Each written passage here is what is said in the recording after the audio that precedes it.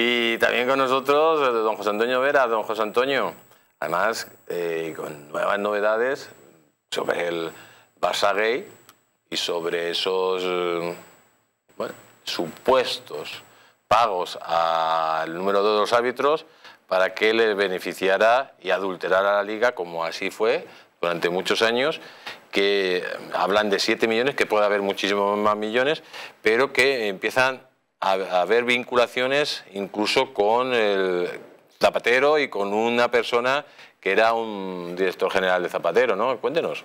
Bueno, sí, ya usted que esté, buenas noches. Este es un asunto que eh, a cada hora está creciendo más, o sea que imagínese lo que puede pasar mañana o, la próxima semana, ¿no?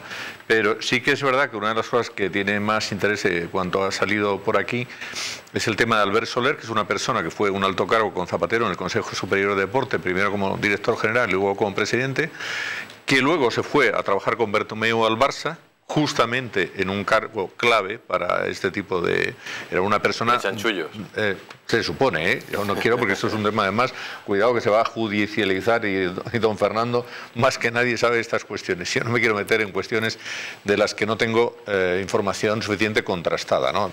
Por cierto, que hay que decir que los compañeros de los medios de comunicación, de algunos medios, están haciendo un trabajo excelente en este sentido, ¿no? porque están recabando mucha información. Y este personaje es Albert Soler, digo, estaba con Zapatero, mm, se metió con Bartomeu y después lo quiso colocar también eh, Pedro Sánchez de nuevamente en el Consejo Superior de Deportes. Es una persona de la estructura del Partido Socialista de Cataluña, del PSC. De manera que es una persona que ellos le conocen bastante bien.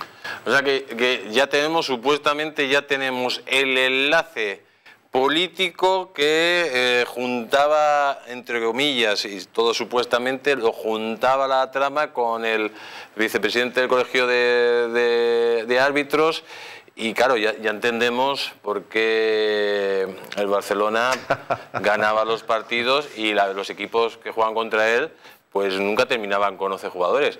¿Se acuerda usted cuando decía Mourinho tengo ganas de jugar un partido con el Barcelona y, terminar con 11 jugadores, porque siempre cogían o expulsaban, o se acuerda usted cuando estuvieron dos años que no le pitaban un penalti al Barcelona y encima acusaban lo contrario de que hacían trampa. Bueno, eso fue, eso fue yo creo, eh, son hechos objetivos que, eh, que hay una relación muy muy, muy conectada en el sentido de que era evidente que no era ni medio normal.